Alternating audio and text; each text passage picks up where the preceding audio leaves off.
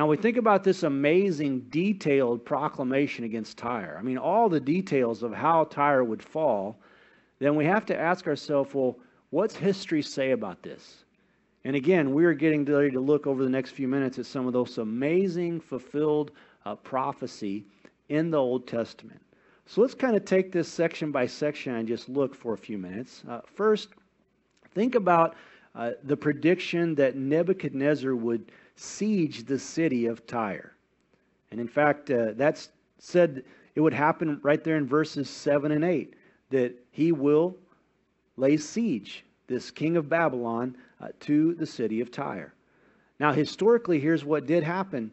Uh, one year after this prophecy, in 585 uh, BC, Nebuchadnezzar laid siege to the mainland, the old city of Tyre, and he besieged it for 13 years. I mean, that's some kind of commitment. And Tyre was situated there on the coast.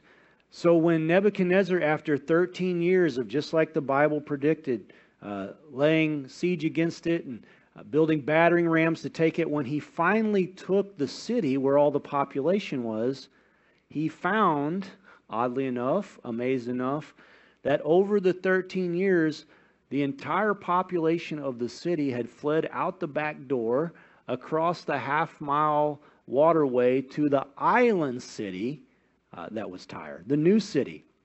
And so Nebuchadnezzar, while he fulfilled this prophecy and took the old city, the residential city of Tyre, he did not go out and conquer the island. He wasn't prepared to do it. He couldn't defeat the fortified walls and the strong navy of uh, the ancient Tyrrhenians.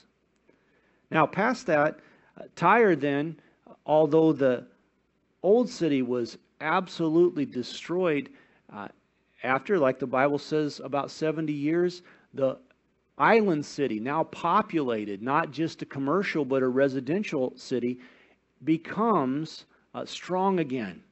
And it becomes a place for global trade. And it really rises back to almost its former glory, just like Isaiah chapter 23 prophesied.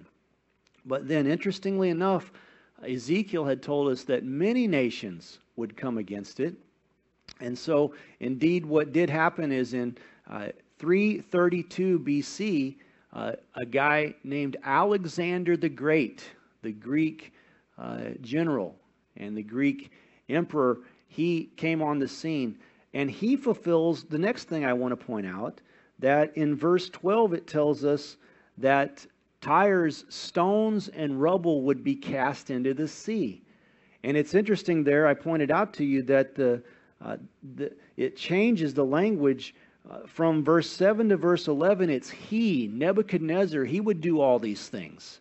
But then in verse 12, it's they. Nebuchadnezzar didn't cast the stones or the rubble into the sea, but Alexander the Great did, you see, for he came to Tyre and he decided he wanted to take this island city.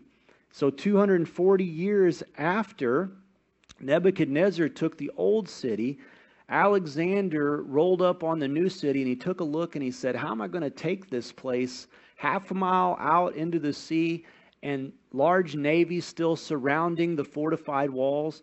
And so what he did is he employed uh, many, many nations to help him, conquered nations to help him take the rubble from the old city and cast it into the sea. And over seven months, he created a causeway from the old city to the new city. He made a road right through the sea, and he took the new city, the island city of Tyre, within seven months in 332 BC uh, just as the Bible predicted, he did this by casting the ruins of the city into the sea. Unbelievable. Now, uh, if that's not enough, as I mentioned, the Bible predicts that many nations, verse 3 says that, and then we have a reference, all they would do from verse 12 to verse 14, these many nations to take uh, the city of Tyre.